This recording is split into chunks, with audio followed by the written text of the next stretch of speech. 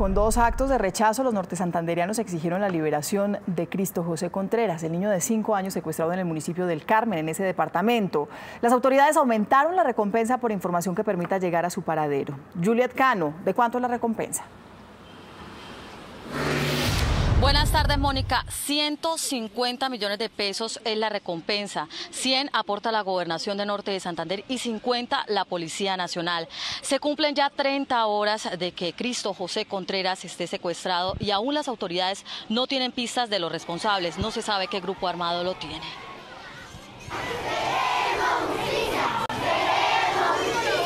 Dos actos clamaron por la libertad de Cristo José. En Guamalito, corregimiento del Carmen, los habitantes marcharon para exigir respeto por la vida del pequeño que permanece secuestrado desde ayer en la mañana.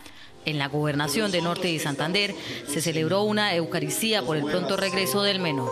Yo estoy en permanente comunicación con la gestora, el dolor es inmenso, no se imagina eh, lo que está sufriendo, igual como lo estamos viviendo nosotros como madres, y exigimos de verdad y pedimos en el corazón de cada uno de sus captores que por favor tengan compasión.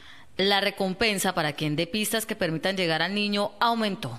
La gobernación ofrece una recompensa de 100 millones de pesos, que sumada a 50 millones que ofrece la policía son en total 150 millones de pesos para que campesinos, habitantes de la zona o cualquier persona que nos dé unas pistas, que nos dé información. El gobernador se excusó por la información entregada ayer en su cuenta de Twitter que daba cuenta de la supuesta liberación del niño presentamos excusas.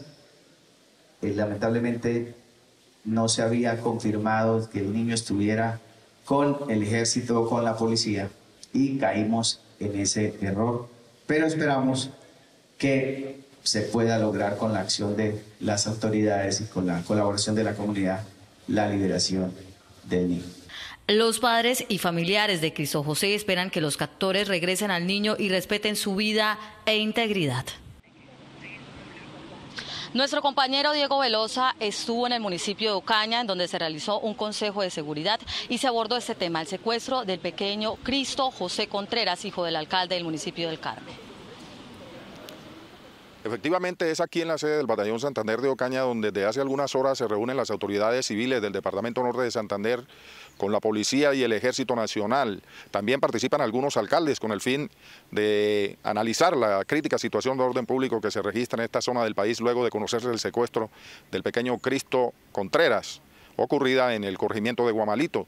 Y cabe destacar también que este hecho ha generado temor dentro de los mandatarios locales, pero nos asegura el alcalde de convención que hoy le dio miedo enviar a sus hijos a la escuela. El Consejo de Seguridad es presidido por el secretario de Gobierno de Norte de Santander, Edgar Payares. Desde Ocaña se dirigen las operaciones para lograr el rescate del menor. Las labores de búsqueda del niño Cristo José siguen en, en la región. El ejército ha ampliado su pie de fuerza, ha cerrado el cerco que hay sobre la región donde se presume que puede estar el niño con sus captores. Entre tanto, en Convención se instaló un centro de mando unificado el alcalde del Carmen y padre del niño raptado hizo un llamado a los secuestradores. Y agradecer a toda la comunidad en general, especialmente la de mi pueblo, que ha generado un sesgo humanitario en toda la región.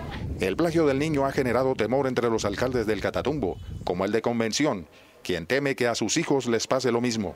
En ese sentido, en el caso mío, yo siento preocupación también por mi familia, porque podría eventualmente llegarle a suceder situaciones tan lamentables como la que hoy en día está viviendo la familia Contreras Arevalo.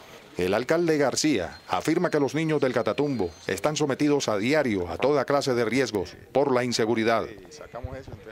Bueno, hasta el momento el ejército y la policía no han dado declaraciones aquí en el municipio de Ocaña. Solo se sabe que desde aquí han despegado varios helicópteros con muchos hombres del ejército nacional y también de la policía para reforzar la operatividad en la zona del Catatumbo, donde se presume tendrían estos delincuentes al pequeño Cristo Contreras.